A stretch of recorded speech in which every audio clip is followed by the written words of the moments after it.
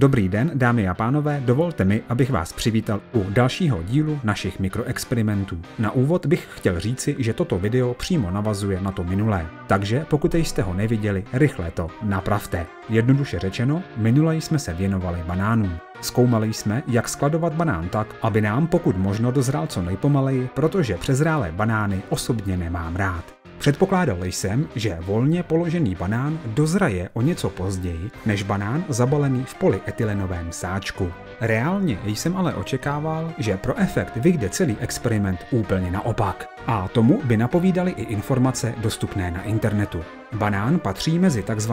klimakterické plody. Jedná se o plod, který během dozrávání produkuje tzv. etylen. Ten můžeme zjednodušeně řečeno považovat za něco jako rostlinný hormon, který urychluje dozrávání. Lze předpokládat, že v uzavřeném pytlíku se koncentrace etylenu bude zvětšovat a tím pádem by zabalený banán měl dozrát rychleji. Jenže mě osobně dozrál banán volně položený dříve než ten zabalený. Možná, že nastalo něco, co jsem úplně nepředpokládal.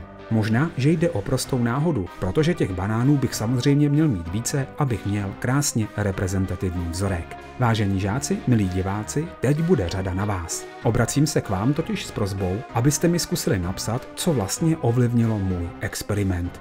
Který parametr bych podle vás mohl vzít v potaz? Napadá vás, jak poupravit experiment? Já jsem totiž dostal úplně opačné výsledky, než které uvádí internet. A to mě rozhodně nenechá spát. Na vaše názory, připomínky, náměty a především modifikace experimentu se budu nesmírně těšit. Ty nejzajímavější později samozřejmě vyzkouším. Děkuji za pozornost a brzy se zde zase sejdeme.